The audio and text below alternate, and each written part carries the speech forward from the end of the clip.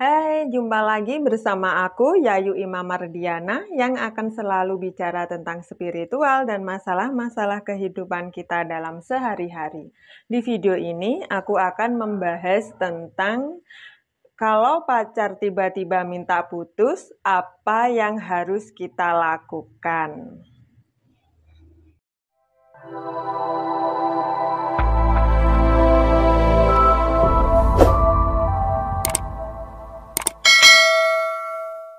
Video ini aku buat untuk menjawab sebuah pertanyaan di kolom komentar.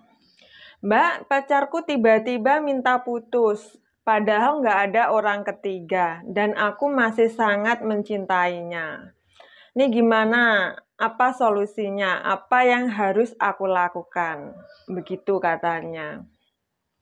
Sebelumnya, aku sangat berterima kasih atas pertanyaan yang kamu ajukan ke saya.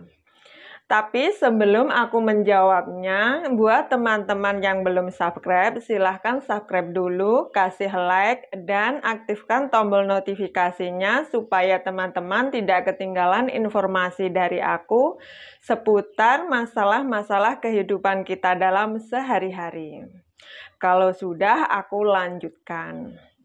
Mayoritas orang, baik itu pacar kamu yang mutusin kamu atau kamunya yang mutusin pacar kamu, biasanya tidak akan mau jujur apa alasan sebenarnya ingin memutuskan pacarnya.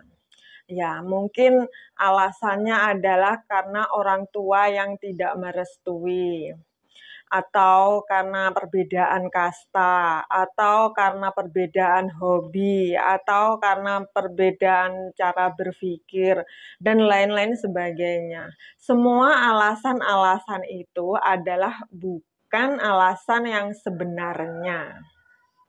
Lalu, kenapa tidak bisa jujur mengatakan alasan yang sebenarnya?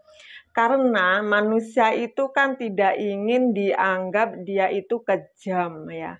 E, tiba-tiba aja memutusin tanpa alasan ya kan. Terus apa alasan yang sebenarnya? Nah, alasan yang sebenarnya adalah karena sudah hilang rasa cinta, sudah nggak ada perasaan jadi kalau mau ciuman itu sudah nggak ada rasa, kalau ngobrol juga sudah nggak ada rasa, bahkan kalau melakukan hubungan seks itu juga sudah tidak ada rasa lagi. Nah, itulah alasan yang sebenarnya. Apalagi kalau kamu sudah tidak eh, menjaga kualitas kamu. Nah, dulu pada waktu uh, masih cinta-cintanya ya. Meskipun tidak direstui orang tua ya tetap diterjang aja tetap lanjut hubungannya. Meskipun beda hobi yang satunya hobi menyanyi karaoke misalnya terus yang satunya lagi hobi uh, bersepeda misalnya. Nah ini tidak menjadi halangan bahkan uh, bisa saling melengkapi satu dengan yang lainnya katanya. Nah, masih terus lanjut, ya kan? Dan meskipun beda kasta, meskipun apa itu Ya, apalagi nah, kalau masih cinta-cintanya semua itu diterjang. Tapi kalau rasa cinta itu sudah nggak ada, perasaan itu sudah nggak ada, nah semua itu muncul dan dijadikan alasan untuk putus, ya kan? Nah, kenapa seperti itu? Karena e, segala sesuatu di dunia ini adalah energi energi yang setiap saat, setiap waktu bisa berubah-ubah. Nah, perubahan energi itu tergantung dengan kejiwaan kamu dan e, pacar kamu. Nah, apa yang harus kita lakukan kalau pacar tiba-tiba minta putus? Yang pertama, jangan mengemis-ngemis apalagi memohon-mohon minta balikan. Itu akan membuat nilai kamu rendah dan membuat dia 100% ingin memutuskan kamu cinta itu berada di level tinggi. Nah, kalau kamu itu mengemis-ngemis, memohon-mohon, itu artinya kamu e, tidak punya cinta, dan itu artinya kamu berada di level rendah. Nah, inilah yang membuat dia semakin ingin memutuskan kamu. Kalaupun pada akhirnya dia itu kembali ke kamu, itu dengan terpaksa Ya, tidak ada lagi kehangatan seperti dulu, tidak ada lagi cinta dan kasih sayang seperti dulu. Dan yang kedua, yang harus kamu lakukan adalah pasang wajah datar, biasa-biasa saja.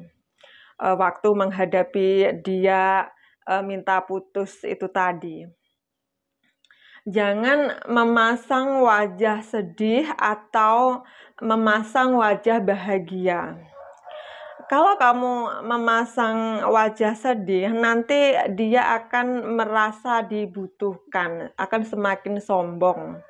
Dan kalau kamu memasang wajah bahagia, nah nanti dia malah juga ingin semakin 100% ingin memutuskan kamu. Berarti kan e, artinya kamu juga ingin putus dengan dia itu loh. Nah, kalau kamu pasang wajah datar, nanti dia akan menjadi penasaran.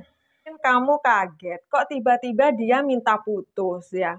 Kaget sih boleh-boleh aja ya, namanya juga tiba-tiba minta putus.